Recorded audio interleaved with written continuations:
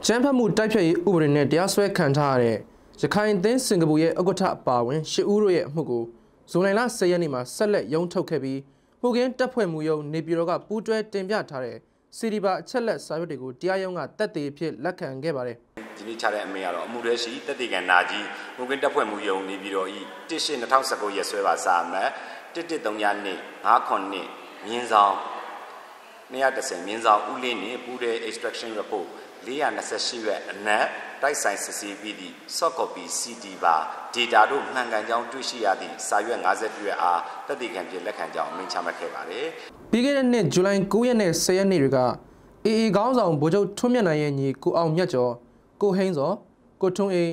ကိုရဲကျော်ထက်မတ်အေးမြတ်မွန်နဲ့ကိုတင်လိုင်ဦးတို့ကိုစင်ကာပူနိုင်ငံရှိ၎င်းတို့ရဲ့နေအိမ်အသီးသီးမှာစင်ကာပူ CID လာဝကနဲ့ရဲတွေကဝင်ရောက်ဖမ်းဆီးခဲ့ပြီးပြည်နှင်တန်းပေးခဲ့တာဖြစ်ပါတယ်။အဲဒီနောက်ဆက်ဆက်သူ၃ဦးစုစုပေါင်း၉ဦးတို့ကိုဖမ်းဆီးခဲ့တာပါ။ကိုအောင်မြတ်ကျော်ရဲ့လက်ကင်ဖုန်းပါချက်လက်တွေကိုဖွင့်ပြီးစစ်ဆေးခွင့်ပြုရန်ရှောက်ထားမှုကိုတော့ခရိုင်တရားရုံးကပယ်ချလိုက်ပြီး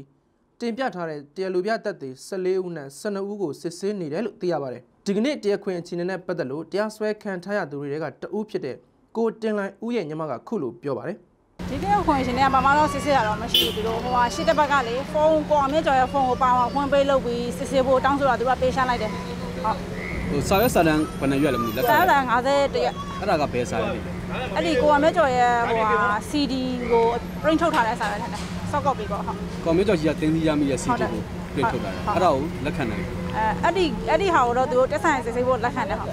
အချမ်းဖတ်မှုတိုက်ဖြတ်ရေးဥပဒေပုံမှန်90ညဟာ